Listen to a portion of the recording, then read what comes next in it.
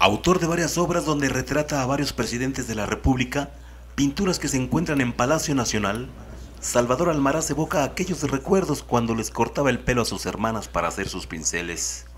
Con los años encima, el artista irapuatense dice haber nacido con ese don de dibujar, pintar, hacer escultura y más tarde muralista. Amigo personal de Fidel Castro y Luis Echeverría, el artista irapuatense, autor del mural de piedra Nuestros Orígenes, el obelisco del Parque Irecua y del mural de la escalinata principal de Presidencia Municipal, nos cuenta cómo inició desde su niñez. A los 3, 4 años ya dibujaba Sí, ya, caricaturas. mis papás dicen, yo no tenía conciencia de nada. No sabía ni escribir. O sea que nací pintor, primero dibujante, luego pintor, luego muralista y retratista de presidentes de México. Y de Cuba, Fidel Castro. Don Salvador de Almaraz, quiero decirles que es el autor de uno de los principales murales en la ciudad de Irapuato. El primero que vemos en las escalinatas de Palacio Municipal. El segundo, un mural de piedra, cuyo trabajo, vaya, platíquenos cómo estuvo esto. ¿Cuántos días de trabajo? Es muy amplio. No podría 20 explicar. hombres, 20 hombres, ¿verdad? Trabajando. Pues para poner las piedras nada más. ¿Y las piedras de dónde salieron? Yo traía de los cerros con, mis- con Trinidad Pedret y otras gentes. Costales en un burro y luego ya en una camioneta en la carretera. En Cuba pasó igual. Entonces tuve muchas dificultades porque decían, eso se va a despintar con el agua y con el sol y con los agentes atmosféricos. Entonces yo les dije, esto va a durar miles de años, la piedra jamás se decolora, siempre será piedra y siempre será el color. La piedra de colores. En la Ciudad de México también hay, sus, hay, hay Sí. obra de Salvador Almaraz. Hay también, ¿En dónde, don Salvador? en Jalapa también. En Jalapa. En Cuba. En, Cuba- Chile. En Chile no hay de piedra, pero sí hay de pintura. Platíquenos del obelisco, el obelisco de, de- de- del Parque Irecua. Y quiero decirles que hay un detalle importante. A don Salvador Almaraz siempre le regatearon su trabajo. Quizás se siente pobre, pero me dice que también es millonario en amistades. ¿Es así, don Salva? Sí, sí.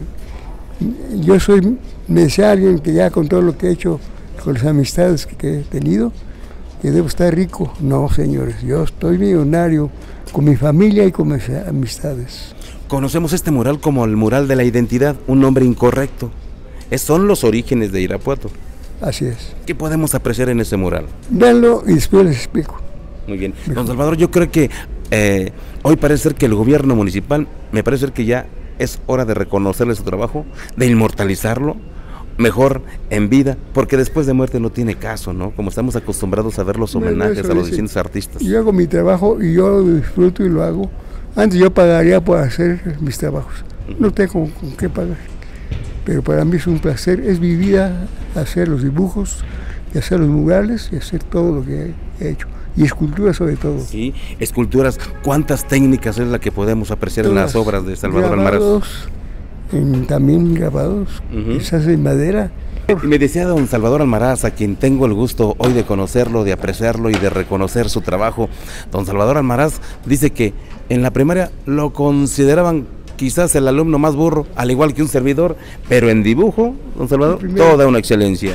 Siempre fui el primero. ¿Sí? Y ¿En qué mire, escuela estudió? Platíquenos. yo no estudié en escuela, no. Y hacía yo también títeres.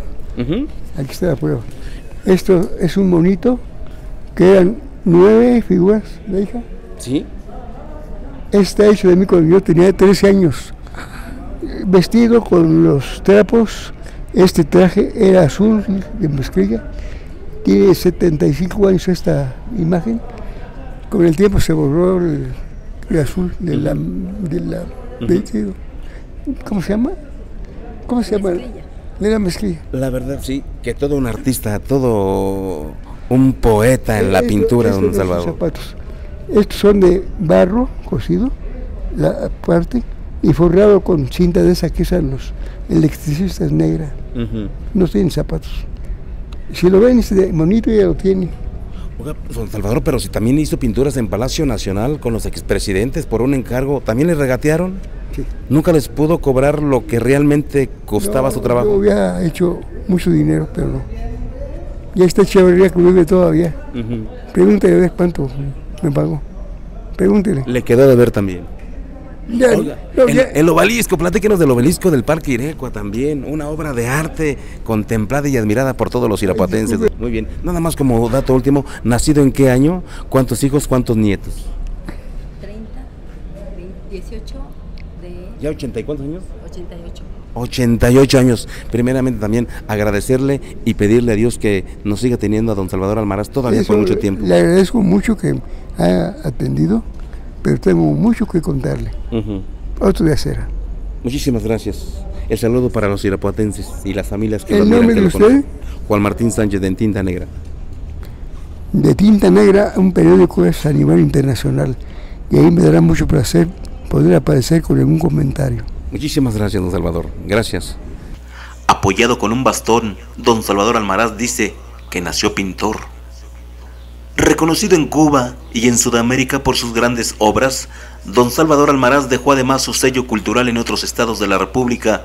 Hoy, en Irapuato, se aprecia el trabajo, su obra de arte, su legado y en claro homenaje a este gran irapuatense, encorvado con mirada cansada y con paso lento, nuestro artista se despide Irapuato, su casa, en breve le reconocerá su gran trayectoria por ser hijo pródigo y por dejarnos gran parte de su vida a través de sus pinturas, murales y esculturas, con imágenes de Fernando López Velázquez, Juan Martín Sánchez Castro en tinta negra.